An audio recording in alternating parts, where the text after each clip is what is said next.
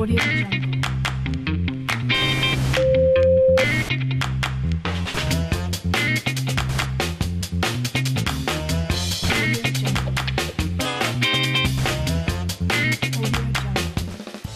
первом выпуске программы «Диет Совет», говоря о завтраках, мы затронули весьма важный и щепетильный вопрос об организации питания ребенка в целом. Важный, потому что от того, что и как ест ребенок, напрямую зависит его здоровье и качество жизни. Это, впрочем, касается не только детей. А щепетильный он потому, что о простых истинах знают все, но вот только придерживаться их готовы далеко не все, начиная от родителей и заканчивая школой. Думаем, некоторые рекомендации диетологов и яркие примеры способны изменить привычное отношение к вопросам питания, а особенно детей. Я могу сказать, что однозначно принципов вот э, того здорового питания, которое мы сейчас должны заложить в социум, их просто нет. Есть разрозненное понимание диет, есть э, стандарты, стереотипы, по которым школа там, и система живет, она не может быстро все это изменить и поменять. Вот. Но если мы, но тем не менее мы понимаем, что дети у нас уже сегодня рождаются, они уже м, 80% они больны. Да? И от того, что мы едим, как мы едим, э, зависит здоровье наших детей и нас с вами очень, очень мощно и очень сильно. Поэтому эту систему питания, конечно, нужно менять, но не конфликтуя с системой, а принося какие-то созидательные такие идеи. Более или менее разобравшись с завтраками и выяснив, что, во-первых, они должны быть у каждого ребенка в обязательном порядке, во-вторых, состоять из каш, молочных продуктов и овощей, перейдем к вопросам о питании в школах. Чем кормят детей в учебных заведениях, ни для кого не секрет. Гарнир, каша или пюре, котлетка, кусочек овоща, чай и булка. На первый взгляд нормальная еда.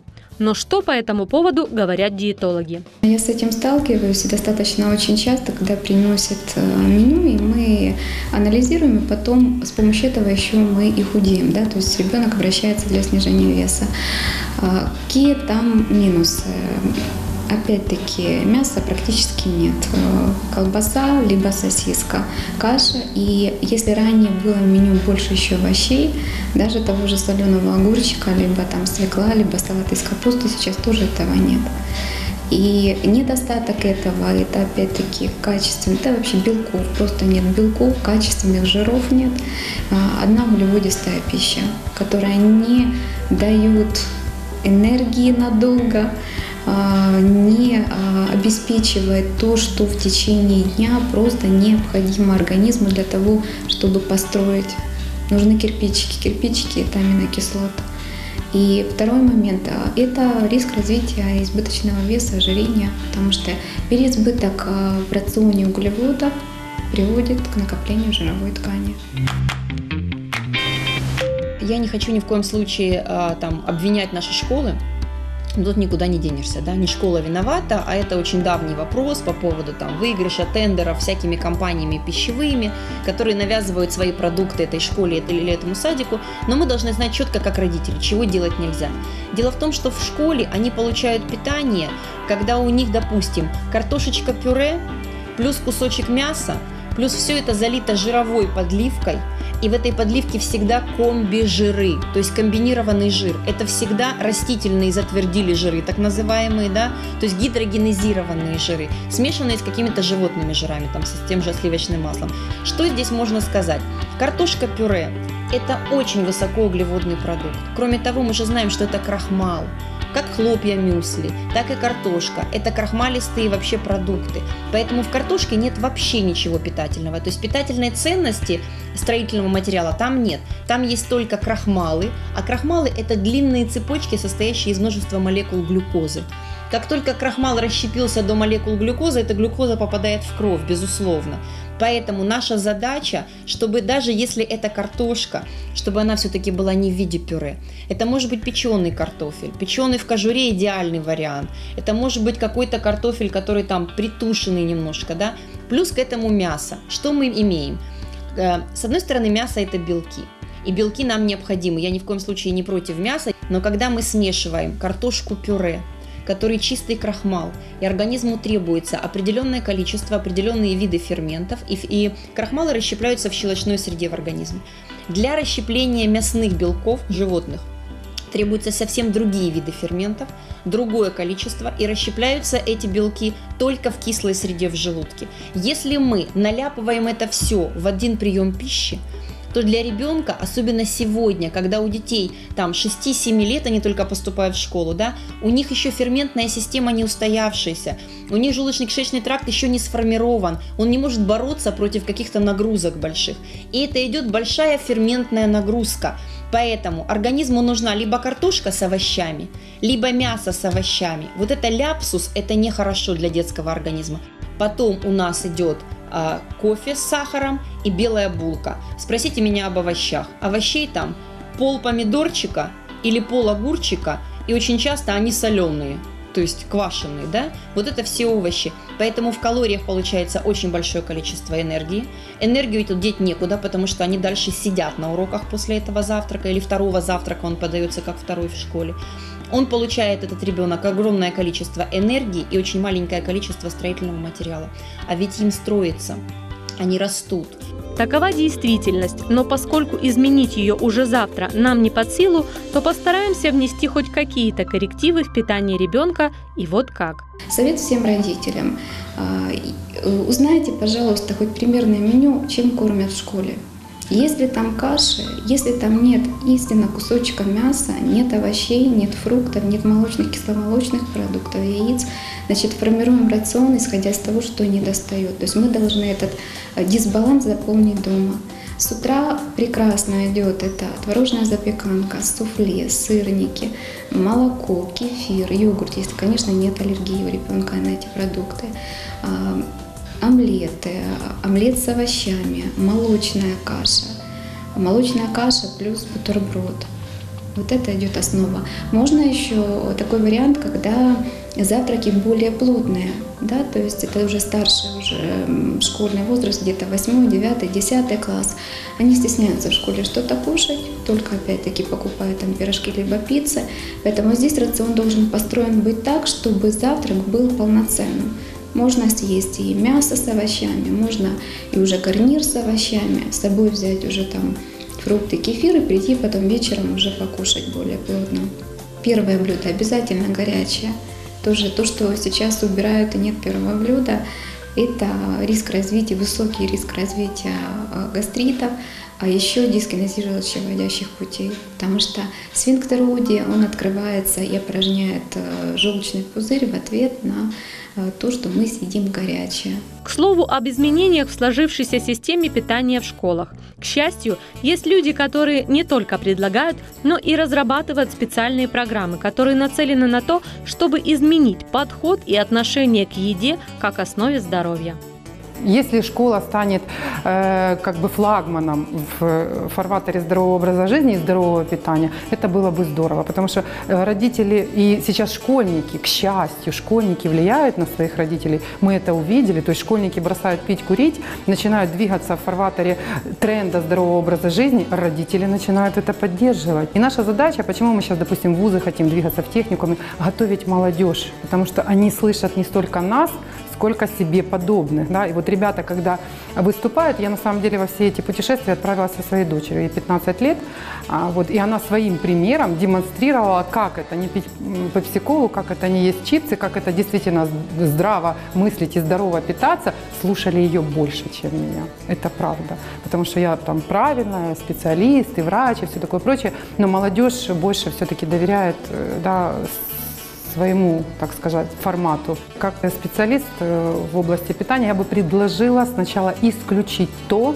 что вредит здоровью. Вот просто эти э, категории с вниманием исключить, ну, нужно внести. Сначала исключить то, что явно вредно, а потом уже предлагать то, что ну, наши дети, там, да, наши, э, скажем так, система здравоохранения может э, предложить относительно того же бюджета. У них же тоже бюджет очень лимитирован. Исключить хлебобулочные изделия, макаронные изделия. Однозначно. Потом я бы исключила чуть дальше уже там, да, какие-то жареные на э, жирных маслах там все эти э, соусы и так далее, да, ну хотя бы исключить вот, вот то, что глютеин, то, что сейчас уже медициной традиционной доказано, вызывает онкозаболевания, вызывает системное заболевание. Чем же пышные булки, хлеб и сладкое печенье не угодили диетологам? Хлебобулочные изделия из муки высших сортов э, содержат очень мало питательных веществ и витаминов, так как э, в своем процессе приготовления их очень хорошо очистили. Э, Плюс для изготовления муки высшего сорта современные производители используют достаточно много химических веществ, которые также неблагоприятно влияют на организм ребенка, или отбеливателей, да, мы по-другому называем. Ситуацию с мукой усугубляет еще и наличие сахара в таких изделиях. А Если мы говорим о э, изделиях хлебобулочных, в которых добавлен сахар, то есть которые сладкие. Есть хлеб, который не сладкий, но это все равно белый хлеб. Есть булки, которые или хлебы, или как- там какие-то косички, которые сладкие. Естественно, что почему он сладкий? Потому что туда еще добавлен сахар. То есть мы количество сахара, которое содержится в самой белой муке, он очень быстро превращается, этот состав, в сахар. Мы еще добавляем сахар, э, непосредственно сахар, да, что повышает одно- однозначно углеводность и калорийность этого продукта. Чтобы понять вообще, почему же сахар такой гадкий, почему же он такой вредный. Начнем с того, что сахара в природе самого по себе не существует. Нет рафинированного белого вот этого вот песка, который сладкий вкус имеет. Сахар мы должны получать из продуктов питания, которые входят в его состав. То есть это фрукты. Поэтому детям нужно давать фрукты. Это идеальный источник глюкозы и фруктозы, которая не повысит вам быстро сахар крови, потому что во фруктах огромное количество клетчатки и воды. Эта клетчатка и вода замедлит усвоение глюкозы. Если же мы мешаем сахар в чай, мы пьем сахар, и мы его пьем и пьем и пьем, в итоге сахар крови повышается, пошел механизм повышения инсулина, потому что инсулин должен сейчас спасти организм от этого сахара. Инсулин способствует преобразованию неиспользованных калорий в жиры, а тем временем, опять же, сахар падает ниже нормы. Сахар является мощнейшим окислителем. А все, что мы говорим окисляется, все, что окисляется, разрушается. Поэтому если сахар повышает уровень окисления в организме, нарушается pH крови, нарушается pH лимфы, э, кислотно-щелочной баланс, организм загаживается, он становится вязким, все, все жидкости, которые должны течь, они вязкие, они как кисель. И это состояние потом сопровождается накоплением болезней и лишнего веса. А чтобы увидеть полную картину потребления сахара из продуктов нашими детьми, демонстрируем простой пример. Все продукты, которые мы употребляем ежедневно, будь то банан, йогурт, булочка, состоят из шести основных компонентов. Это вода, белки, жиры, углеводы, витамины и микроэлементы. Углеводы, попадая в наш желудочно-кишечный тракт, расщепляются на три компонента. Это глюкоза, фруктоза и галактоза. И в таком виде они всасываются в кровь. О количестве углеводов в наших продуктах мы можем судить э, по таблицам пищевой ценности, которые находятся на каждом, каждой упаковке продукта. Э, ну вот, например, да, возьмем количество белков, жиров, углеводов. Мы решили наглядно вам показать, э, так сколько же наши дети употребляют за день э, простых углеводов и насколько это опасно для их здоровья. Э, Для наглядности мы решили взять достаточно известный углевод – это сахар. В одной столовой ложке сахара находится 15 грамм углеводов. И мы будем брать продукт, который употребляют ежедневно наши дети, и сравнивать с эквивалентным количеством углеводов, э, содержащиеся э, в сахаре. Утро, школьник собирается в школу, как всегда, опаздывает, не успевает. Мама решает приготовить ему быстрый завтрак. Конечно, очень вкусный и быстрый завтрак – это хлопья. Какой школьник их не любит?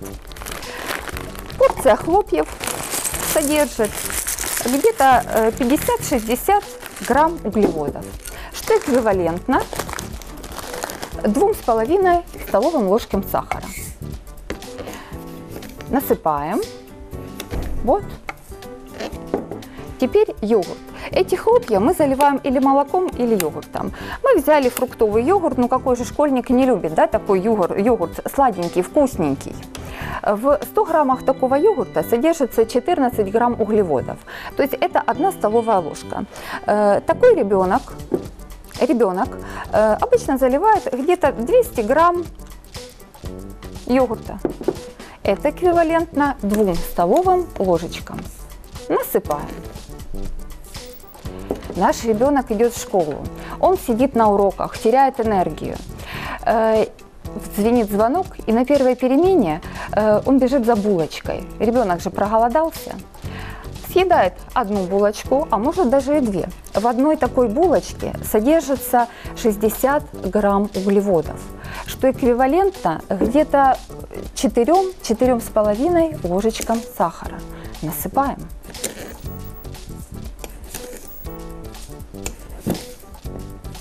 Э, наши вкусные булочки ребенок запивает фруктовым соком. М-м-м, вкуснятина. И с этим соком он получает полторы э, столовые ложечки сахара. Насыпаем. Опять уроки. По дороге домой ребенок лезет в ранец и достает вот такой вкусненький банан. Банан действительно содержит много углеводов, но по своей структуре они являются сложными. И попадая в организм, они дают достаточно долго э, чувство насыщения. Они поддерживают э, достаточно постоянный уровень глюкозы и давая тем самым энергию для жизнедеятельности ребенка. С бананом наш ребеночек съедает полторы столовые ложки сахара. Вот, Посмотрите, мы еще не дошли домой, мы еще не пообедали, а у нас уже вот такое количество э, сахара, эквивалентное содержание углеводов в пище ребенка. Э, по дороге домой ребенок идет возле киоска и видит вот такие прекрасные сухарики со вкусом бекона или сыра. Ну какой ребенок не остановится и не купит такой продукт? Естественно. В 100 грамм такого, таких сухариков у нас содержится 45 грамм углеводов. Это соответствует трем с половиной ложкам сахара. Так, насыпаю, да?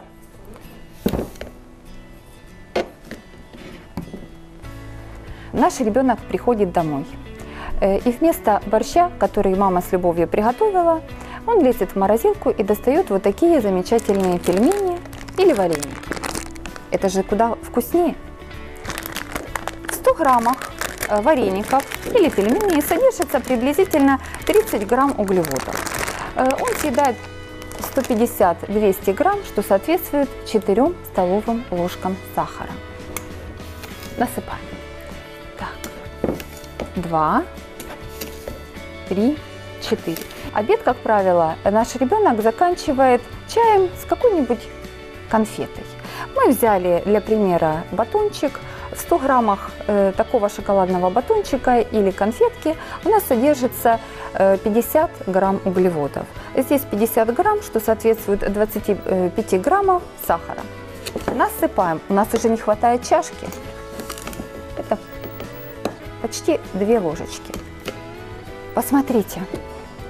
И это мы еще не съели ужин и полдник. Мы еще не съели очередную порцию конфет или хлеба. Отсюда становится понятно, откуда у наших таких еще маленьких детей э, возникают проблемы с сердечно-сосудистой системой, проблемы эндокринного характера, это ожирение, сахарный диабет. Э, почему наши дети так плохо себя чувствуют, часто подвержены вирусным заболеваниям? Вот ответ. Потому что содержание простых сахаров в пище нашего ребенка достигает вот такого уровня, а должно быть в три раза меньше. Товарищи родители, давайте почаще задуматься над тем, что наши дети едят. Э, если наши дети будут получать здоровое, сбалансированное питание, в котором будут э, соблюдены соотношения белков, жиров, углеводов и воды, они будут здоровы и активны на протяжении всей жизни. На этом ужасы употребления ребенком вредных веществ не ограничиваются. Ведь помимо сахара в хлебобулочных изделиях содержатся так называемые трансжиры. Даже рекламируемые и продаваемые в детских магазинах печенье содержат трансжиры. Везде есть маргарин, кулинарный жир, либо это пишется затвердили рослинні жиры. Что это за жир? Это когда берется масло, даже самое лучшее масло растительного происхождения, а, нагревается до температуры кипения и через него пропускается водород. То есть это некие а, измененные молекулы жира, которые организм не может распознавать, не может а, качественно утилизировать, не может выводить нормально. И когда они складываются в организме, то есть человек, который ест печенье, пирожные, торты на маргарине, пиццы, да, вот все, что где, все, где есть маргарин, и кулинарные жиры, и затвердили жиры. Эти жиры встраиваются в клеточную мембрану и затрудняют межклеточный обмен.